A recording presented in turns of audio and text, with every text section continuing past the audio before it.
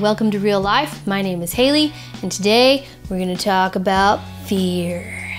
Fear's a bully, fear's a jerk, fear's a big old mean thing with a little bitty muscles. Fear is a dark cloud ominous in the sky with no real power and no real rain to dump on you. Fear is the man behind the curtain. The screen's filled with big clouds and, rah, and the wizard, and then there's this little weird dude behind the curtain. That is what fear is, and unfortunately, I have been intimately acquainted with him most of my life. I remember laying in bed as a child surrounded by my stuffed animals terrified that there was either a witch under my bed or a man outside my window coming to get me in. I would lay there wide awake, paralyzed in fear. And you know, the funny thing about fear is fear is usually something that never happens. It's not based on reality. There was no witch under my bed. There was no man outside my window. Usually we're afraid of things that we never experience. And actually, I can say that for a fact. Most of the things in my life that I have spent so much time being afraid of or worrying about have never happened. Fear of failure, fear of loss, fear of death, fear of the unknown, fear of change, fear of growth, fear of, I don't know, spiders. I have a terrible fear of sharks. You know what? I have never, ever even been around a shark. Never seen a shark at, a, at an aquarium. But I have a terrible fear of them based on, guess what? Not reality.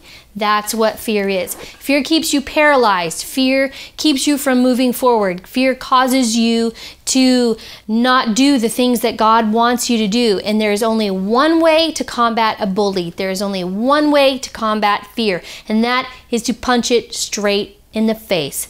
That is to turn around and run right at it with your sword held high, screaming, whoa, like a warrior, okay?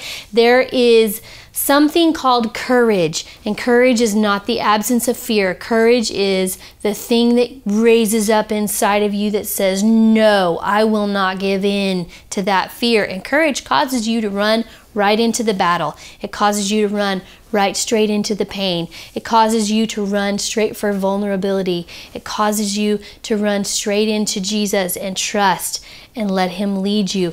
Courage is that thing that we use. It's like a force that just goes out and it pushes fear aside. It doesn't mean that you don't experience fear.